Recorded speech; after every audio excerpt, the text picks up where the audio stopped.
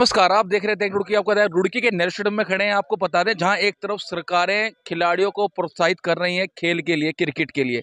वहीं दूसरी तरफ़ जो क्रिकेट एसोसिएशन है, वो कहीं ना कहीं खिलाड़ियों को उत्पीड़न करते नज़र आ रही है। ऐसा आरोप रुड़की की 22 अकेडमियों ने लगाया है, हरिद्वार ज़िले की 22 क्रिकेट अकेडमियों के कोचों ने लगाया है।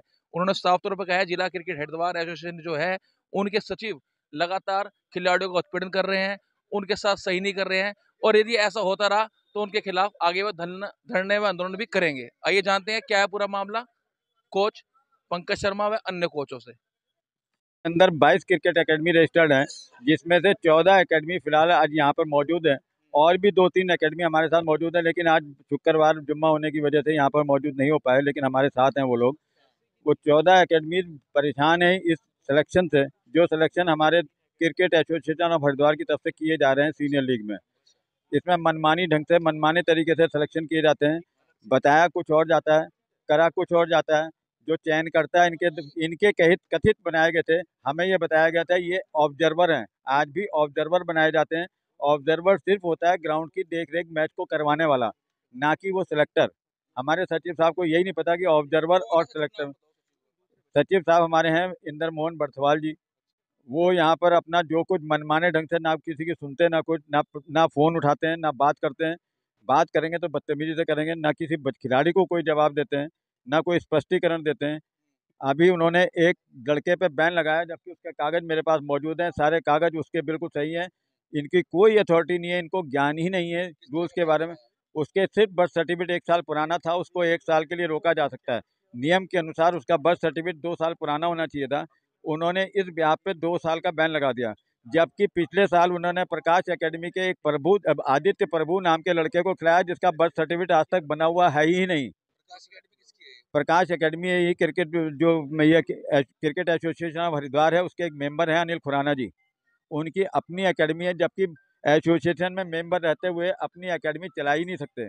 ऐसे ही हमारे इंदर मोहन बर्थवाल जी जो सचिव साहब हैं उनकी एकेडमी चल रही है जिमखाना क्रिकेट एकेडमी। वो भी, अब उन्हीं खिलाड़ियों, सचिव साहब फ़ोन करके खिलाड़ियों को कहते हैं कि मेरी अकेडमी से खेलोगे तभी तुम्हारा आगे चयन होगा। होता भी वही है। ज़्यादा उनके यहाँ से जो लड़का खेलता है जो रुड़की के लड़के हैं, वो भी वहीं जाके खेलते हैं सिर्फ़ इसलिए कि हमारा चयन हो जाए। उनके ना तो कागज़ चेक करे जाते हैं, ना तो उनके कागज़ चेक करे जाते हैं। तो लगातार चार साल से अब ये विरोध प्रदर्शन करते चले आ रहे हैं, लेकिन सुना ही नहीं जा रहा है। इस चीज़ को हमारे जो क्रिकेट एसोसिएशन ऑफ़ उत्तराखंड के सचिव साहब हैं, महिम वर्मा जी, वो भी हमें सपोर्ट करते हैं, लेकिन उनकी भी ये नहीं सुनते हैं। वो हमारे साथ हैं, हमारे जो खिलाड़ी हैं, उनके हितों के के बारे में ही बात करते हैं वो। लेकिन ये इंदर मोहन बर्थवाल जी सिर्फ़ अपनी अपनी सुनते हैं, किसी की नहीं सुनते। इन्हें, हमने अध्यक्ष जी से भी कहा, अध्यक्ष जी कह देते हैं कि हम साहब क्रिकेट से मुझे नॉलेज नहीं है, मैं पूछ के बताऊँगा, लेकिन इंदर मोहन जी उन्हें भी चुप करा देते हैं, ना कोई जवाब आता है, ना कोई पता नीरज जी हैं, नीरज कुमार, उनको कहते हैं, मैं बैडमिंटन का खिलाड़ी हूँ।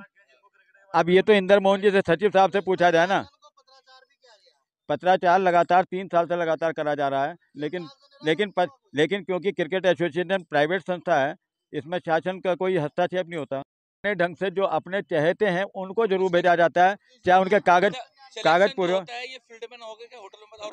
हाँ जी बिल्कुल होता है इसमें होटल में बैठ के क्योंकि ग्यारह तारीख को फाइनल हो गया था क्रिक हीरोज से ही आप चयन कर रहे हैं वो तो वहाँ पे बिल्कुल फ्रंट पे है। जब हमने टीम क्रिक हीरोज से बना ली तो उन्होंने जो टीम डिक्लेयर करी है वो परसों रात को करी है।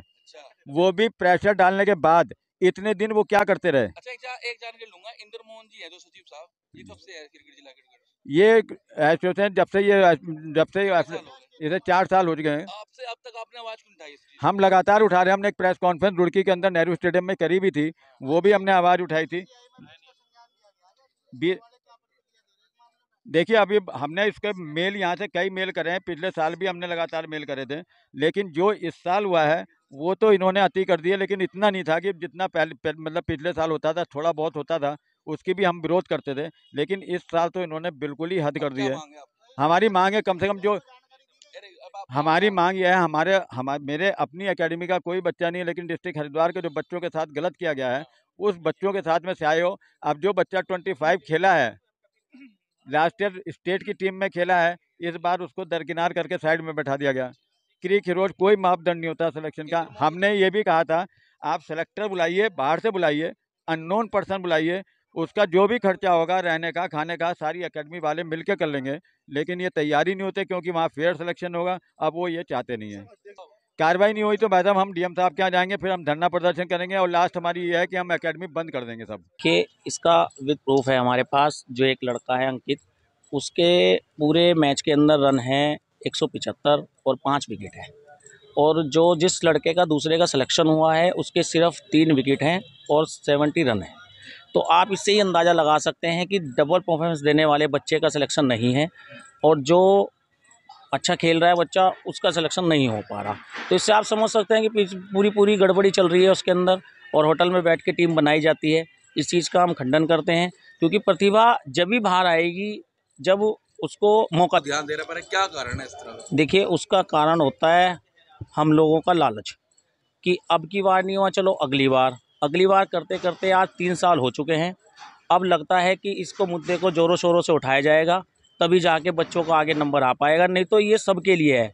आपके किसी का बच्चा भी ऐसा हो सकता है जो आगे निकलना चाह रहा हो खेलना चाह रहा हो अगर उसकी प्रतिभा दबाई जाएगी तो उसे बहुत नुकसान होगा। देखिए हमारी खुद एकेडमी के अंदर सौ से डेढ़ सौ बच्चे हैं।